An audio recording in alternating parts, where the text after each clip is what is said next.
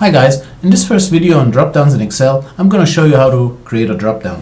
Uh, let's say I got here uh, car brand, the description, and here I wish to have a dropdown in which I can insert various car brands. Now, what's the purpose of a dropdown? Well, a dropdown first of all limits the, the kind the, the, the, the data that you can enter in a certain field. So you can enter, let's say I want to limit the brands to certain uh, to a certain number. And uh, you know I don't want to allow any brand in just those brands. And second of all with a drop down I can avoid misspellings or wrong inputs because the drop down limits the data you can insert in a field or in a cell.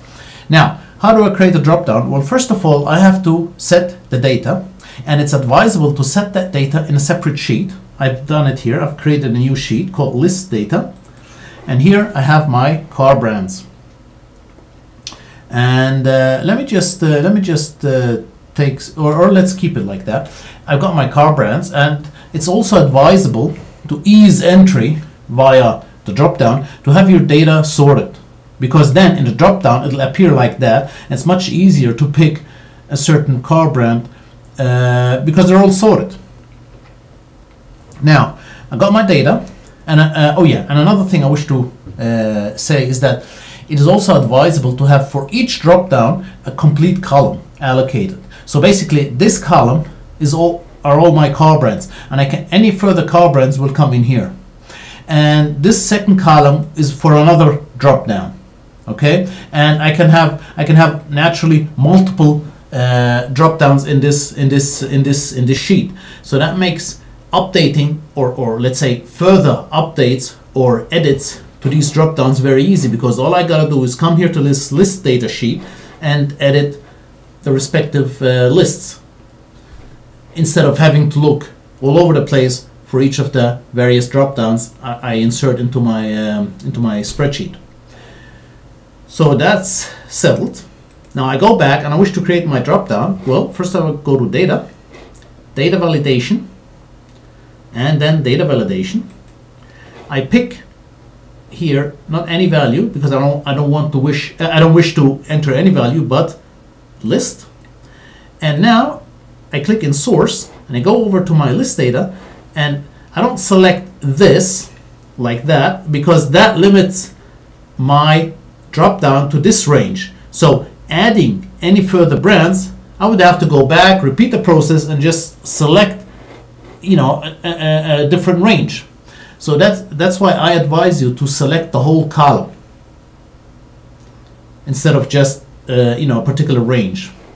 So we got that. We selected the whole column. I go OK, and that's it. Drop down is there. Now I just select any brand. You see how easy it is to select because they're sorted. And the beauty of that is, of selecting a whole common, uh, column, is that if I go back to list data and just delete part of my brands, you can see here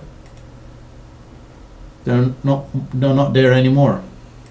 Okay, and if I wish to add any other brands, let's say uh, Yugo, let's say Mini. Okay, let's say uh, Ford.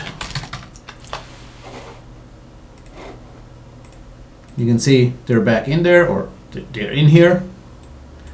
And if I sort them they are also sorted in my list. All right. Another uh, now in this uh, now another uh, way of creating lists is to I go back to my list data is to have a header at the top.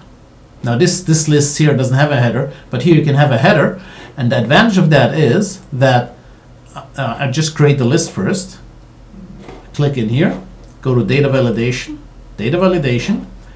Again, I pick list, go into source, go to list data, and this time I select this column. Okay, and now I can set it to destination, and that this description I don't need no more because now it's obvious what you got to put in here. Okay, destination. So so basically this this this type of list where you have the header on the top first of all saves you the description.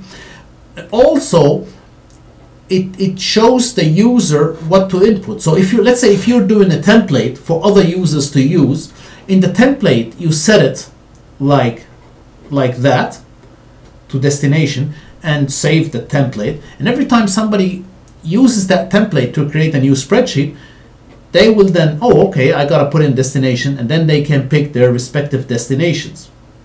You see so that's that's the advantage of having a list with uh, this kind of header. Right. Now uh, another thing about the dropdowns is that dropdowns limit the data you input. So if I want to input anything else something like that it doesn't allow me now, is there a possibility of having a drop down and still be able to put input any data? Well, yes, there is. But first, you have to modify the, the drop down a bit. What you do is you click in the drop down itself, you go to data validation, data validation, you go to the third tab, error alert, and you deselect that checkbox, show error alert after invalid data is entered. And now you can you have a drop down, still works normally, but you have the freedom of entering any data you wish, should you need to. Okay? And the other thing I just want to mention in a video, in this video, is that uh, how do I get rid of a um, drop down? Very easy. You click in the cell of the drop down, you go to data validation, data validation, you go to the first tab, settings, and here at the bottom left, you have this button clear all and OK and your drop down is gone